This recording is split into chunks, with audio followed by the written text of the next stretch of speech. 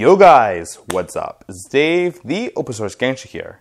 So if you're watching this video, you're probably a fan of Minecraft. And playing Minecraft on your Chromebook is very easy, provided you have Ubuntu installed.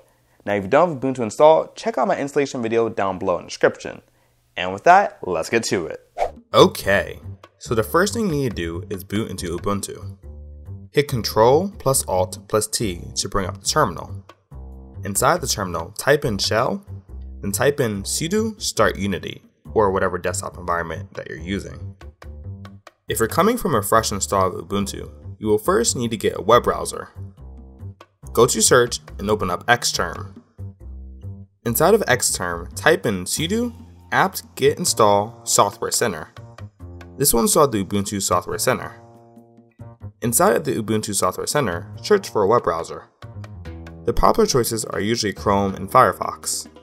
Now that you're all set up, navigate to the Minecraft website, log in, and download the Minecraft jar file for Linux. Go back to the Software Center and install OpenJDK. This will allow you to run the jar file. Now go to your Downloads folder, right click on the jar file and go to Properties. Enable the file for execution.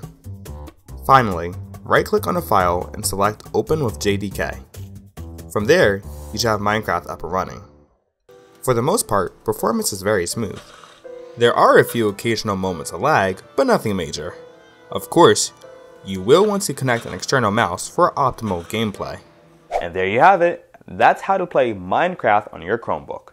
If you have any questions or comments, feel free to leave them down below. And as always, thanks for watching and stay tuned for another galvanizing video. Thanks.